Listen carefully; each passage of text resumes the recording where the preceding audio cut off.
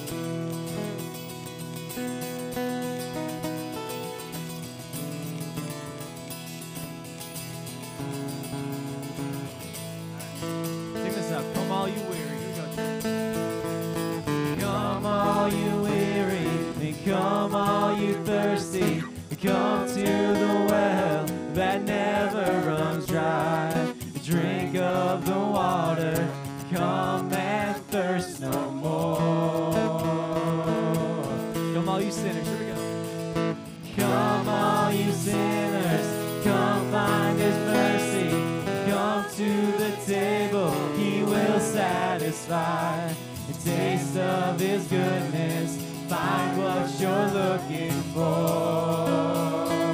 For God so loved, here we go. Oh, for God so loved the world that he gave us his one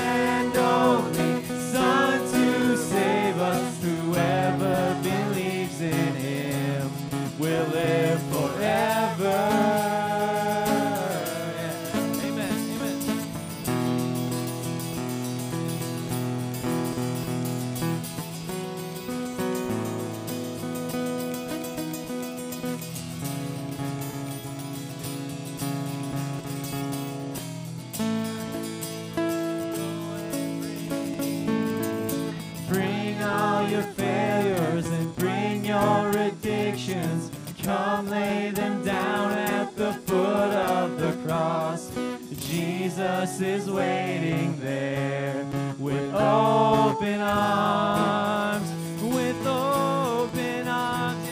For God so loved the world that he gave us his one and only Son to save us. Whoever believes in him will live forever. Oh, the power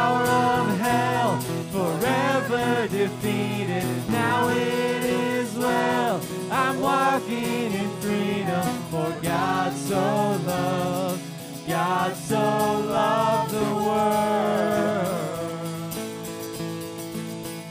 Praise God, praise God, from whom all blessings flow.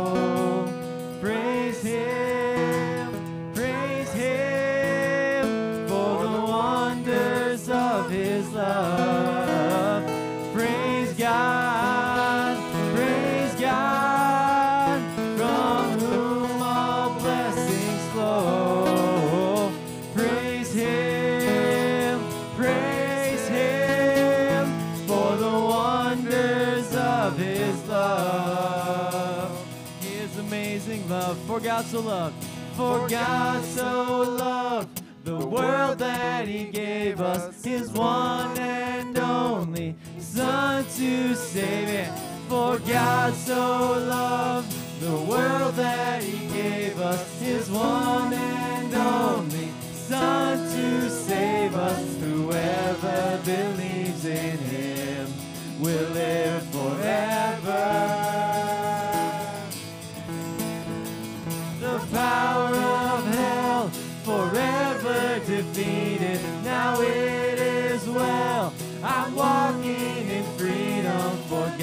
so loved.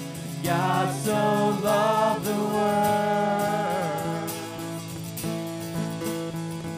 And bring all your failures, bring your addictions. Come lay them down at the foot of the cross. Jesus is waiting. God so loved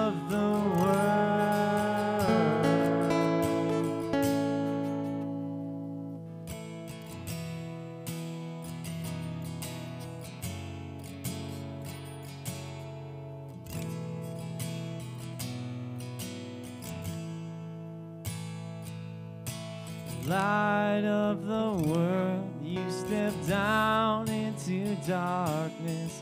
Open my eyes, let me see. The beauty that made this heart adore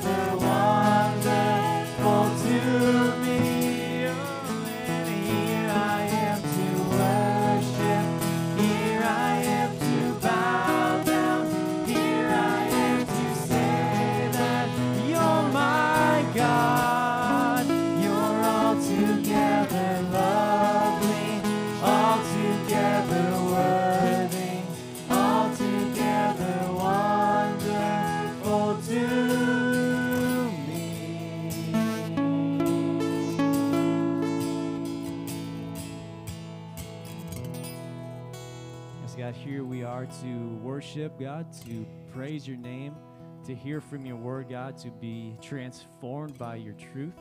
And um, we're just so delighted to be together today. Guide us as we go, Holy Spirit. In Jesus' name, amen. Amen. Amen, church. Please be seated.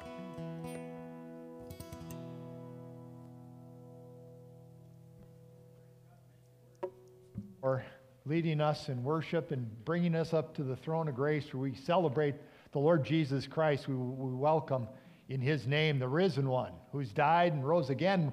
We still have the beautiful decorations from Easter to help us remember that Jesus, who died, is alive forevermore. And we can live in that and celebrate that goodness of Christ. So glad that you're here at Bethel Covenant Church on this morning. I thought John Stroud had the best line. He said when he was walking in, he had a full head of hair, but the wind blew it off. so that's how wind is. I'm, I'm, I'm proud of everyone for getting here through that wind. Maybe you couldn't open the door, couldn't get it closed, but it's a good day to worship the Lord, even in spite of it. Uh, some of the things that are going on here at Bethel Covenant. Uh, next week, right after church, we'll have a congregational, quarterly congregational meeting. So it'll be right after church following the worship service. And then starting, uh, not this uh, Wednesday, but next Wednesday, we're starting a Bible study on Wednesday mornings at 1, Wednesday afternoons, 1 p.m. It'll be every Wednesday at 1 p.m. So if you're interested, we're going to be studying Deuteronomy. So we'll be gathering and enjoying that time. And then uh, coming up here in two weeks will be Ruby's Pantry, another Ruby's Pantry. We need a lot of volunteers. It was a great event last time. So sign up, participate, uh, fill out the, uh, I think, Becky, we've got something out there to sign up, right? So sign up on that and, and plan on Saturday, May 7th for our next Ruby's Pantry. And then um, other announcements are listed in the worship folder. But this time, we're going to hear from Dan Enberg. Dan's the uh, chairperson of the Pastoral Search Committee. And the Pastoral Search is up and running and rolling. And so he's going to share with us kind of the first announcements for them. Thanks. So, uh, um, you guys are getting hit with a lot of this pastor search committee info today. I see it's in the bulletin and up on the screen, and that's good. Obviously, I'm the chair. I'm filling in for Patrick. Uh, he's gone today. The members of the committee are Krista, Joanne, John, Patrick, Laura, Becky, and myself. And the key thing as we move forward with this is prayer, because obviously we live in crazy times and we need God's help. And the crucial thing again is prayer. So I want to encourage you to fill out the survey. Most of you got it in the mail. It's real important that we get that back. Um, and it's obviously it's a one-size-fit-all survey type thing that comes from uh, the conference. A lot of it doesn't really pertain to us, but most of it does. Then briefly, we met with Hollis Kim from the Northwest Conference a couple, three weeks ago. It was an, it was an interesting meeting, meeting, interesting visit. He was helpful in many ways. Uh, one of the things that he pointed out that I thought was kind of interesting, we do not necessarily need to hire a covenant pastor, but we do need to hire somebody that is approved by the conference. So that's a little bit different than what I was expecting. So if you know of anyone that's uh, interested in the position, position uh, have them contact one of us on the committee. Um, another thing is um, we're going to make every effort to keep forward motion on this, but it's going to take some time. So we need, we need prayer for a long period of time. Thank you. Thank you, Dan. Appreciate that. Yes, as, as someone who has seen the pastoral search process go on in many churches over the last years, there's a really good process that the pastoral search committee follows. And as long as it's bathed in prayer, God works in, in great ways through it. So, as Dan said, really be in prayer for the search committee and, and folks and encourage them. And they'll continually share as they're able what's going on and keep the church updated. Well, now it's time where we share prayer requests. We've got some listed. If there's other prayer requests, Ivy's going to help us with the microphone. So if anyone, I think Linda's got one over there for you, Ivy.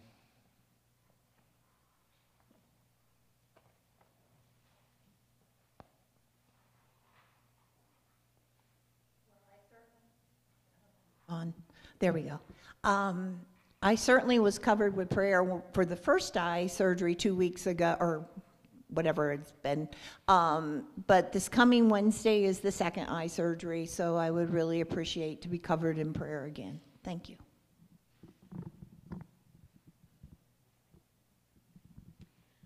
I need prayer for decisions that I have to make, or don't have to make, but I think I need to make, um, about selling my farm and buying another place to live for me and my dog. So, um, yeah, it's just a, it's a crazy time out there, and it's a scary time, especially when you're doing it alone. So, I just ask for prayer.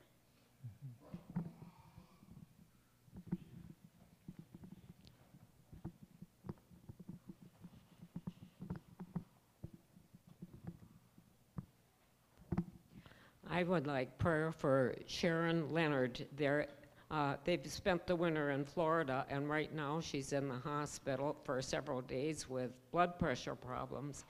And they're running tests, but can't seem to find out what the problem is. Okay, Sharon. Okay.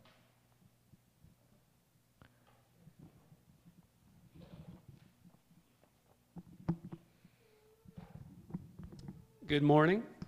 Uh, my name's Denny, and I live in Texas. My wife Lindy uh, made the trip to see my mom. Have my mom here and my brother Terry.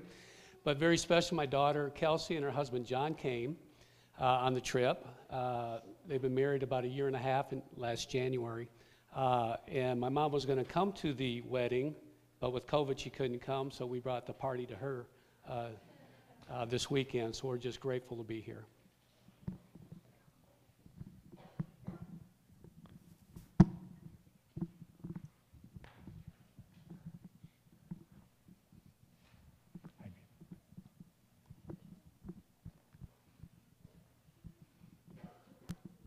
Good morning. Um, this isn't a prayer request. It's kind of a praise that um, that we can be able to do things, you know, walk around and do things. So what I'm asking is some help this week to help clean up the yard a little bit behind the parsonage and behind the church. I know it's windy out there, but I don't think it's windy enough to take all them branches that are on the ground away. But they probably just blow them in somebody else's property. But anyway, if anybody has time this week in the evening, let me know and we'll get together. It shouldn't take too long, but it's kind of a mess because we've had a lot of wind this year. So thank you.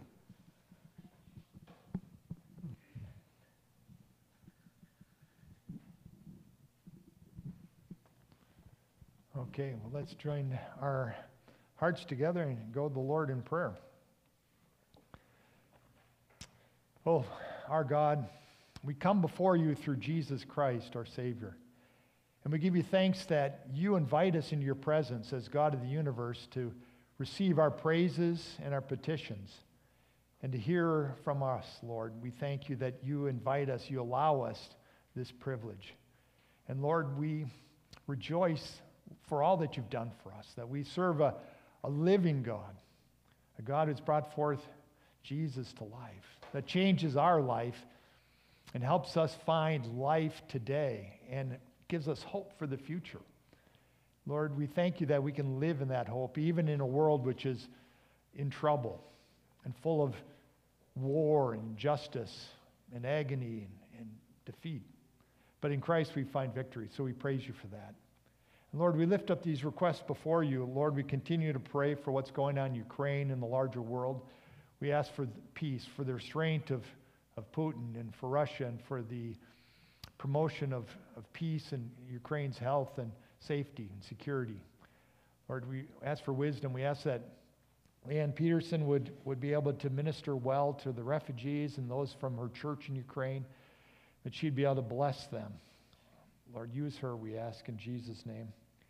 We pray for Linda Stroud and for eye surgery. Thank you for the good result from the one several weeks ago. And we pray for, she has another, the other eye worked on Wednesday, that you would superintend it and bring uh, clarity and healing to this surgery and to her eye.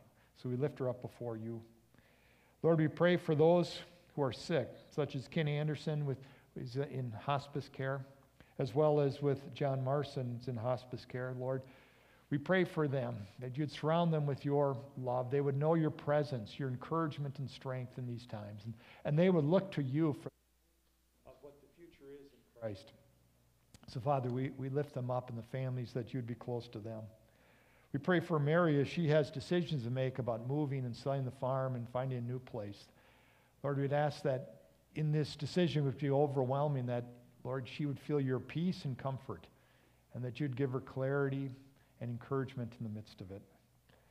Lord, we thank you for the wedding joy, for, for as Denny, uh, Dennis shared with us, Lord, for the, the joy of family being together, things that were postponed in COVID. So, Lord, may they as a family rejoice in being together and celebrating marriage and life together. Lord, we pray for Sharon. She's in Florida and has a, the difficulty with blood, blood pressure, and so, her health is at, at risk, Lord. We, we lift her up before you. We pray that you'd surround her with your love and encouragement, that you'd give the doctors the wisdom they need to address the situation, and that she would find healing, Father. We lift her up before you. And for uh, this church, Lord, we thank you for together we're a body of Christ, and that we can work together, whether it's in Ruby's pantry or cleaning up the church, whatever it is, Lord, to serve you and to minister and to do your work. Lord, use us and lead us. And Lord, we pray for our pastoral search committee that you would, Lord, gel the committee together and they would, Lord, over time, develop the understanding of what, what the next pastor should, should be for Bethel Covenant, and you would lead them to that person. So be with this group as, as they do your work here for your glory here in Ellsworth. So, Father, we thank you that we can pray and bring these things before you. You're a great God. We love you. Lord, whatever our needs are, give us, Lord, what we need. In Jesus Christ, we pray these things. Amen. At this time, the children can be dismissed for Children's Church as the worship team comes and leads us in another song. I think you guys are going out the back today.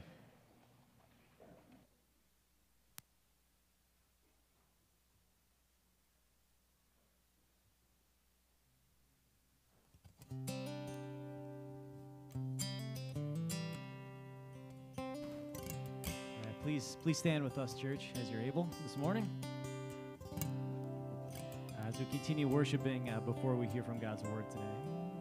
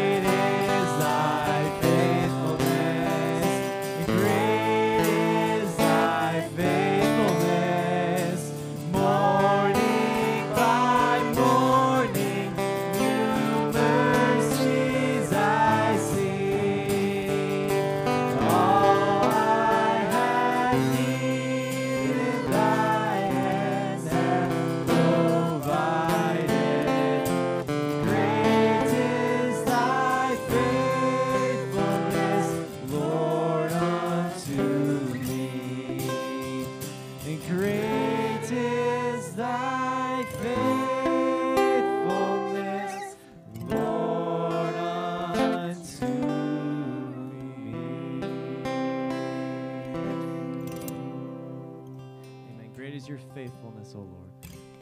Amen. Please be seated.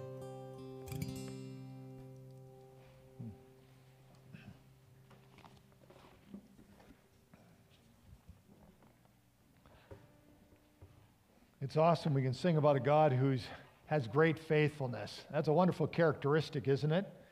Faithfulness. And not just some faithfulness, but great faithfulness. What, what a wonderful thing we as Christians have in the Lord Jesus Christ.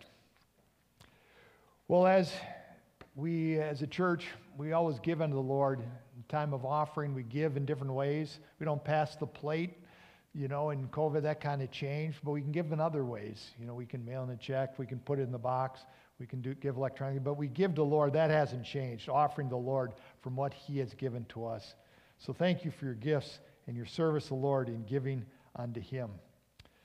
Well, we're continuing our series from 1 Corinthians 15, and we'll be reading, I'll be reading from 1 Corinthians 15, verses 21 through 28.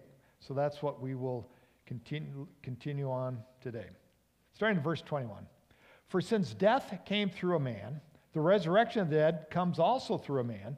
For as in Adam all die, so in Christ all will be made alive. But each in his turn, Christ the firstfruits, then when he comes, those who belong to him. Then the end will come when he hands over the kingdom to God the Father after he has destroyed all dominion, authority, and power. For he must reign until he has put all his enemies under his feet. The last enemy destroyed is death, for he has put everything under his feet. Now, when it says everything has been put under him, it's clear that this does not include God himself, who put everything under Christ. When he has done this, then the Son will himself be made subject to him who put everything under him, so that God may be all in all. Let's pray as we look at the Lord's word. Heavenly Father, we thank you for your truth that you revealed to us. And Lord, as we, we hear these words, may they not just be words on a page, but may they be life and truth for us that, Lord, jumps out of the page into our lives and hearts. So fill us with your spirit and guide these words that they would speak to us. We ask in Jesus' name. Amen. Enemies. Does anyone have an enemy? Anyone have an enemy? We have various enemies, don't we? Like, what's the enemy the last couple years has been the what the coronavirus, COVID 19, this virus. I mean, whoever, more than two years ago, no one of us or few of us ever heard about that. But these things have arise, you know, germs and, and viruses and come against us. Well, there's a lot of different sorts of enemies, aren't there? A, any person or group that we're opposed to such in a hostile nation. We see what Putin's doing in Ukraine and, and the enemy between enemy, uh, Russia and Ukraine, the war that takes place. Something can defeat us or harm us. Or it can be something more subtle, such as drought is the enemy to the farmer. When crops are growing, the farmer, of course, needs water for his crops for good development. And drought is a condition with a lack of moisture or water, which harms the development of the crop, so it's an enemy. And as we said, disease, that's certainly one that we're all aware of. And in it, we can see that these are tools of Satan, tools of Satan to, to harm us. Satan is the, the one who has rebelled from God and wants to harm God's people, harm and destroy what God has done. And so it says that he's our enemy, the one who fights against us, who wants to harm, maim, destroy, and kill.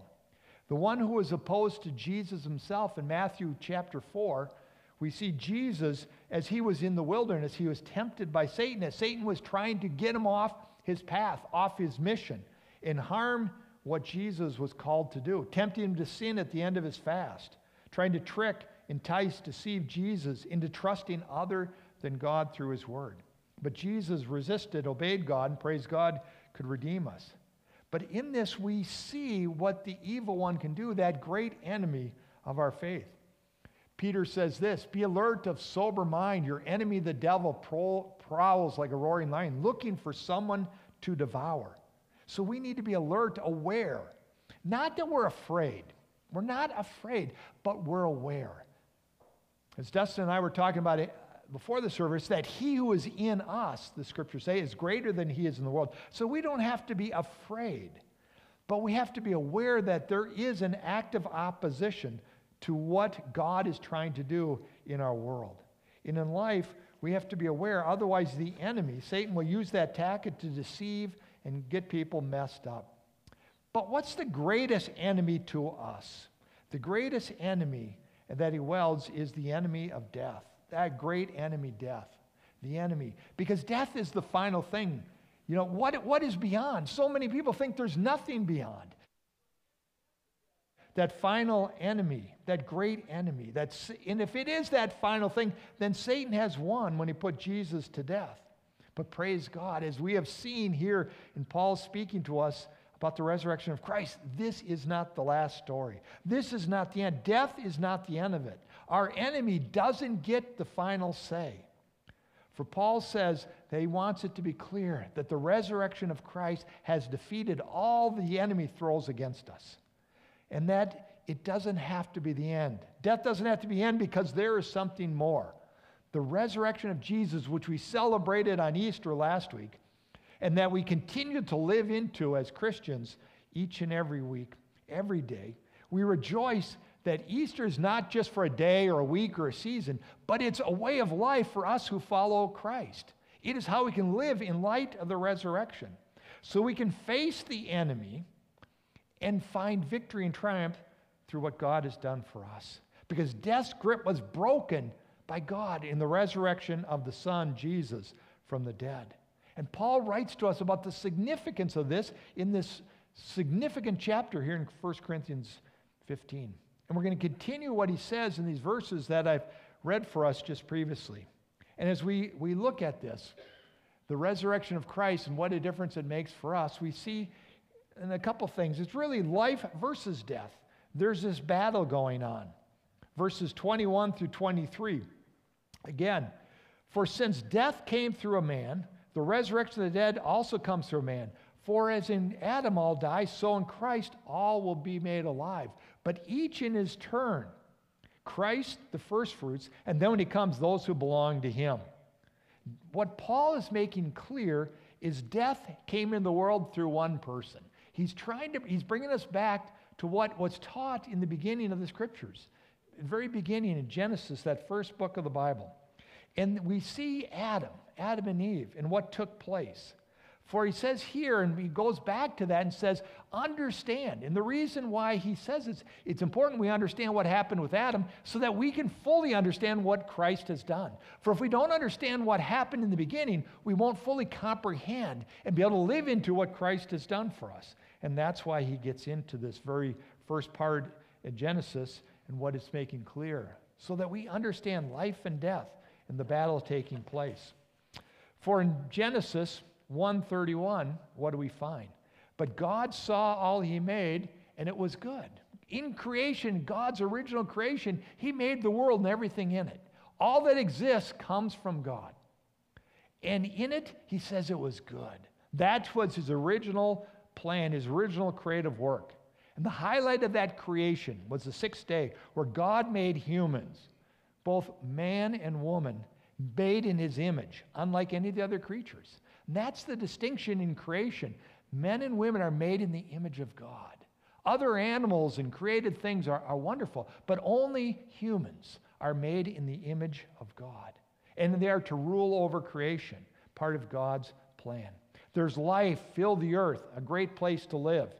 Humanity's is work is to work and to worship God in the good land that God made. It was very good. So in the original design, it is glorious. What a place to live, raise children, work, and worship. There's no death, there's no sin, there's no injustice, there's no war, there's no sickness. Death is absent, it's not part of the equation, it's missing in the garden life. That's why it's often said, oh, the garden, Garden Eden. That was, it was, in many ways, it was perfect. Ponder what your life would be like without death, without issues that lead to illness and war, aging, accidents, violence. The world that Adam and Eve are placed into. There's no great enemy of death in the very beginning of human existence. But it wasn't very long before something took place. And what is that? God gave them the option to obey him or not obey him. And in Genesis 2 16 and 17, we see this. The command of God is to eat of anything but of one tree's fruit. And the Lord commanded the man, You're free to eat from anything, any tree in the garden, but you must not eat from the tree of knowledge of good and evil. For when you eat of it, you will certainly die. So there's this garden with all sorts of food and wonderful things, and you can partake in anything except one tree. Just one. Everything else is fair game, but this one. Because if you eat that, you're going to die. So in our, he gave us free will. He gave Adam and Eve free will. Placed them in the garden, and this was the scenario. Well, you would think, okay, all you have 99.99% you can indulge, but this one, just leave that alone. But what we, of course, know what happened. Contrary to the, the plan and what should take place, when the woman saw that the fruit of the tree was good for food and pleasing to the eye and desirable for gaining wisdom, she took some, ate it, and gave some to her husband who was with her, and he ate it. As a parent, you've seen your kids do that, haven't you? You know, you can do anything you want. Just don't, don't mess with this one thing. Leave this one thing alone. And then within 10 minutes, what thing are they messing with? They're messing with the thing you told them to leave alone. Even though they got toys and boxes and games and all kinds of things, something within us, if, wow, if, if there's one thing we can't touch, we, we, we want to go touch that one. And that's what Adam and Eve did, even though God says, don't do it, because if you do it, you're going to die. Death will come into the world if you do it. And as the story unfolds, we see Satan, the deceiver, did his work to deceive, convincing Adam and Eve that no, this was good. So God's not right. Don't trust God. Trust your own eyes. They trust themselves, their mind, their eyes, rather than God and what He said. And it's a great point where we put ourselves above God, we're going to find ourselves into great and difficult situations. And what happened when they ate of this fruit? Death entered in the world, just as he said. And this is the story that Paul picks up when he says here in 1 Corinthians 15 that in verse 22, for as in Adam all die, or death came, in verse 21, death comes through the man. So in Adam all die. This is what he's referencing. This is what he's talking about. That in the garden, one man, Adam, one act, death entered the world for all. Because we all participate in this human nature. We all descended from Adam and Eve. We all have fallen natures, imperfect before God. We're no longer able to walk in His presence just because of who we are, because sin now has entered in the world. And we have an inclination to sin. It doesn't mean we're terrible or horrible, but it means that we are no longer perfect. And so, through one man, Adam, death came into the world. And all of us have been touched by this. If you eat of this fruit, you will die. God was clear. But what happened? They ate, and death entered the world. Paul continues, For as in Adam all die, the action of Adam wasn't confined just to him, but he was our representative, the theologians will say, in a real way. He sinned and died. But we who come after him share in his sinful condition. And in ourselves, without God's intervention, we will to die. This is what Paul says because of Adam, everyone, you, me, those still to come, will one day experience death. Death entered the world through Adam. It didn't have to be this way, but because of sin, death entered the world. One man, one act, death. And why is Paul going on about this for us? Because it's crucial for us to know what Adam has done, because it gives us clarity what Christ has done. Death comes through one man, that's sobering. But the good news is as it came through Adam, so it comes through someone else. One man, one act, life entered the world. For as it was with Adam, what does the text say? For in Adam all die, so in Christ all will be made alive. And so what he's saying, that as Adam, every, the world and people entered into, into sin and death into the world, but guess what? Life and resurrected life can enter in the same way through the man who has conquered death and sin, Jesus Christ.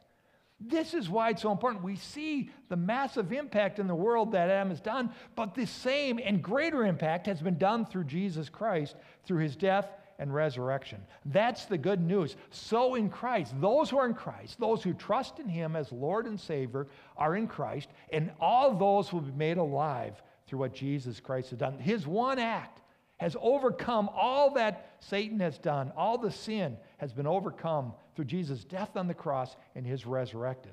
That one man, Jesus, is that one. And his life, his resurrection, shows that we can have life in his name. And resurrections entered the world and filled it through Christ.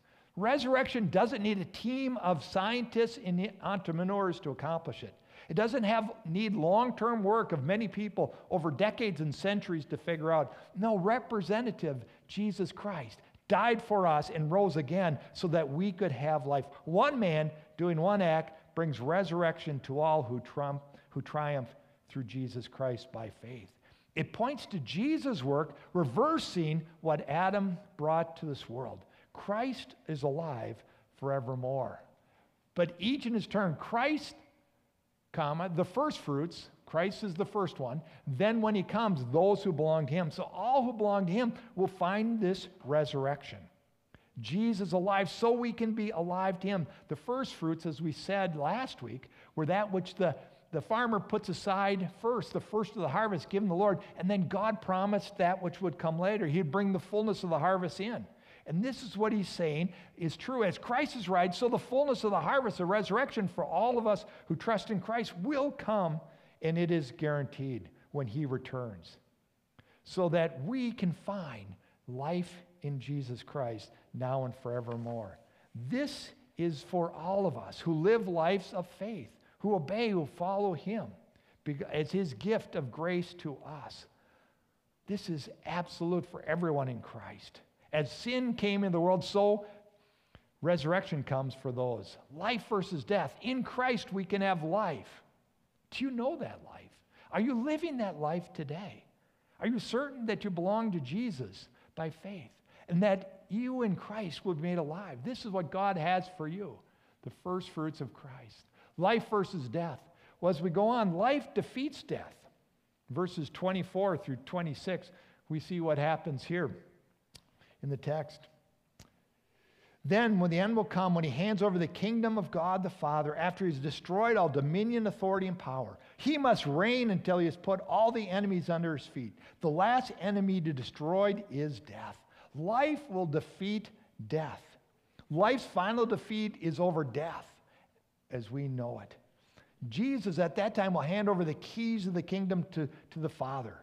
Because then everything that God intended in, in creation, which we saw before sin came into the world in Genesis, now will be restored through what Jesus has done for you and me.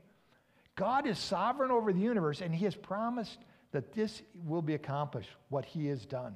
For the world, the kingdom of God, as He created created it. Now it will be accomplished, and we can live into His kingdom in this perfect situation of peace, of security, of joy, of fulfillment, of meaning and significance, because all the forces that oppose Christ and life have been defeated on the cross. His resurrection displays that victory for all of us to see. But we realize it's a progressive victory in that it's continually on, awaiting Christ's final return when he accomplishes it in completion. He's inaugurated, it started, it's certain but he hasn't finished it yet till Christ comes again. And this kingdom building is a part that we live in until Christ returns. When the kingdom of God is fully built, then Jesus will have vanquished all his enemies and Christ's reign is complete. That's what Paul says, verse 24. He says, after he has destroyed all dominion, authority, and power, everything that's in opposition to what God has for you and for me that brings us meaning, happiness, and joy in life. For he says, For Jesus must reign. And he hands over the keys to the kingdom. Handing over the keys. You know, maybe as a parent, when you hand over the keys for the first time to your child when they start driving, right? How is that? Is it kind of like, oh, good, or is it like, oh, you know? It's, uh, but for Christ, it's different. He's not, he's not reluctant. He puts everything under his feet. But what, what does it signify? It signifies when you hand over the keys, you have control, you have authority over that vehicle. Or in a, in a, uh, a home, keys to a home. When, they, when you do a closing, buying a new home, you get the keys and it signifies what? You have ownership of that home. That's yours. You control it, you own it, it's yours. And using that idea is what Jesus is doing. He's, defeated all the things that oppose to God, all the things that sin brought in the world, And when it's all accomplished, he hands over the kingdom to God, saying, Now, what we planned from the beginning, what God, the triune God, planned from the beginning, now has been accomplished. And the keys of the kingdom stand for that what?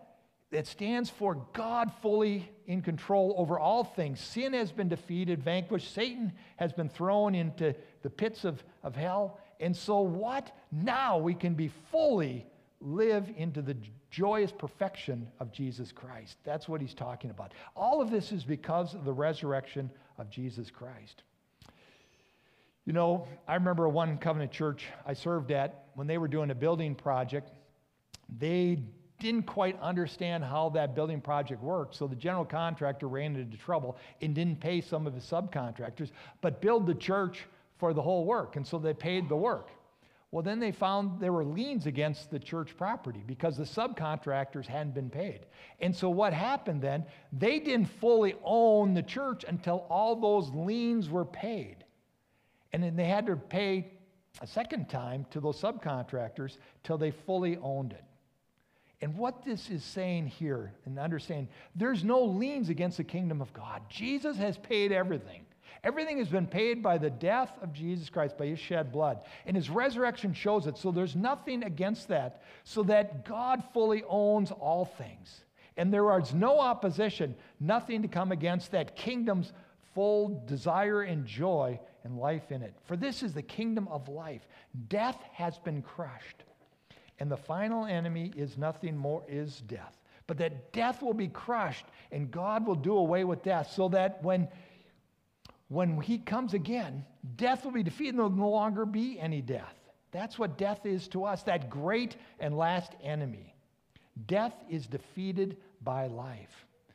You know, if you have a favorite movie that has scenes where there's opposition and battles, whether it's superhero movies or some other types, you know, when there's when there's fight scenes or antagonistic scenes, the last battle is always against who? The biggest enemy, the, the final enemy, right? The super villain.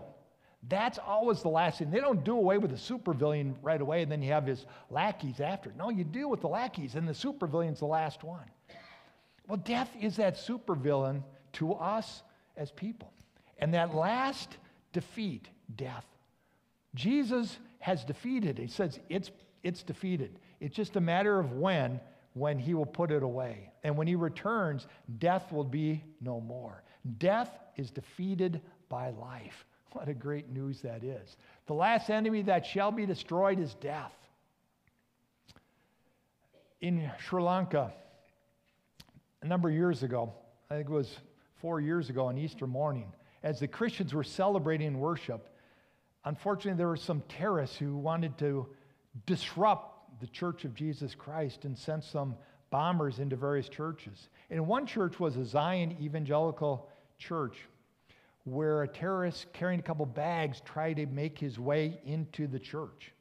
And Ramesh Raju, he became a hero because he saw this man carrying a couple bags and he stopped and says, I, I'm uncomfortable with this. You're going to have to leave those bags outside. And so he intervened with this man, and this man was carrying bombs in these bags. And there were hundreds and hundreds of people in the church, and he wanted to blow up the church and all these people.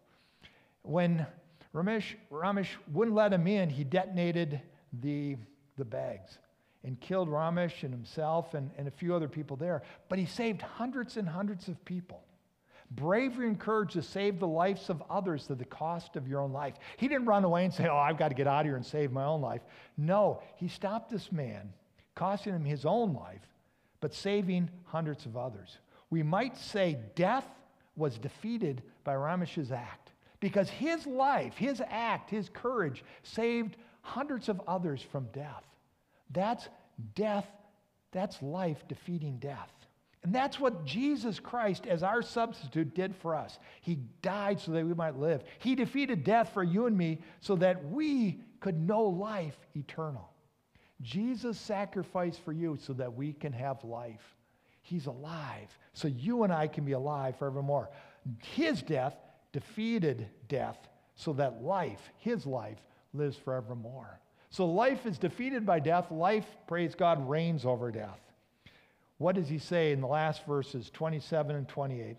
For when he has put everything under his feet, now when he says everything has been put under him, it's clear that this does not include God himself, who put everything under Christ. And we've done this, the Son himself he made subject to him who put everything under him, so that God may be all in all. That term, so that God may be all in all. That's what you and I need. That's the only way you and I can find life as God created us to know. For when everything is fully under the hand and reign of God, and sin is defeated, death is gone, everything under his feet, the king, God, is over all things, then that joy, that purpose, that hope, that future that we want has been made thing because all things are under his feet. You know, when I was growing up, there were four boys in my family growing up, and when you wanted to put put your, you know, exert your will on someone, one of the ways we often did it is you, you'd stand on your brothers, right? You know, you, you stand on them because when you were on somebody, whether it was their hands or feet or chest, whatever it was, you know, not too often we'd stand on their heads or anything, but, you know, when you were in that position, who had control? The one who was standing on them because everything was under your feet. This is the imagery that Paul is using here. Because when you, everything's under your feet, they're under your control. You're in charge. And this is what is taking place through Christ's resurrection. Now death is under his feet. All things in creation are under him, so that God can be all in all. Before creation, the triune God, Father, Son, and Holy Spirit, was filled with joy, but they didn't have anyone to share it with.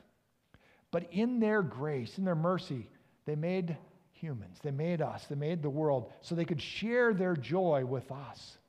But sin messed that up. In this world which God created and is good, we see the pain, the heartache, the struggle, we see death, we see the, the trouble and, and the brokenness to it. But Christ has come to remove that curse of sin, to bring life and hope into your life and mine, so that we can live that hope now and one day experience it in His kingdom forever. God in His grace has accomplished this through Jesus Christ. And when He returns, He will complete that work where everything has been defeated, that God is all in all. And that's exactly what you and I need to live lives, eternal lives of perfectness, of blessing, fulfillment, joy. Think of the happy married couples and the, the newlyweds in the first couple years. Well, that lasting forever, even in a greater sense. This is what must take place through what Christ has done. Only when God is all in all can that take place. Can there not be the things that are against us? All the things touched by sin must go under the feet of God so that He can be supreme in everything. All the wars, rebellion, injustices must be defeated. All of that, all sin must be done away with so that all in Christ may find that joyous eternal life, because then God is all in all. And that state is necessary for you and me to be with God and experience the glories of His presence with no possibility or threat against it. I mean, no way that can be lost or done away with. In Revelation, it's like God may be all in all. In Revelation 22, 3 and 5, we get a little picture of this. No longer will there be any curse. The throne of God and the Lamb will be the city, and his servants will serve him. They will see his face, and his name will be on their foreheads. There will be no more night. They will not need the light of a lamp or the light of the sun, for the Lord will give them light, and they will reign forever and ever. We see in life the consequences of sin death. One man, one act. But the glories of God are shared with all of it. Through one man, one act, we have eternal life. And we have not just good life, but perfect eternal life without sin, without death, without any injustice or anything bad. So that Christ can be glorified and we can live in Him. And when that takes place, then there's the conditions for us to live eternally, wonderfully with God forever. Do you belong to this? Do you know this? This is what God has for you. It's what Christ has done for you. One man, one act, death entered world. But praise God, one man, Jesus Christ, one act, his death and resurrection, resurrected life, entered the world for us forever. For all who belong to Christ, this is our future. That's why we're resurrected people, and we can live in light lives in light of the resurrection of Jesus Christ. Is God all in all in your life? For the resurrection life, this is what God calls us to. Because in it we have such a hope and such a future through Jesus Christ. Praise be God. So will we who belong to Jesus Christ. He's alive. One man, one act, so that God can be all in all. And we can share in that overflow of his glory forever. Praise his name. Let's pray. Lord, we thank you for these words that challenge us but encourage us all at the same time. Lord, we live in the time frame between Adam and Christ in his return. And Lord, we ask that you would help us to live faithfully, trusting and believing that Jesus will return again. And Lord, encourage us with this message of hope that we will live as people who look forward to what you've done. Lord, you've you accomplished the work. And we look forward and we pray, Come, Lord Jesus, come. And we long to live in that perfected blessedness in Christ. So, Lord, give us strength as we serve and live you until that day, we ask in Jesus' name. Amen. Amen. Please stand with us this morning as we respond together.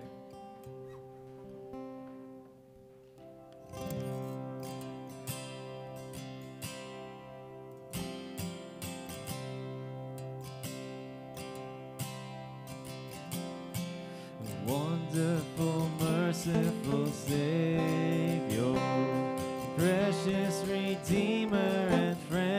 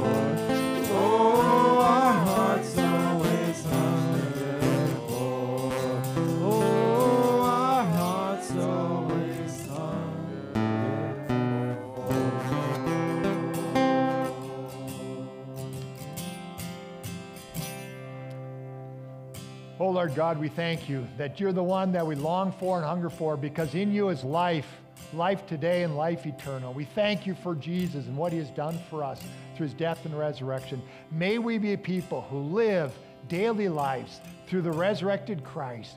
Looking forward to when you are all in all, so we can live eternally in you, we pray. In Jesus' name, amen.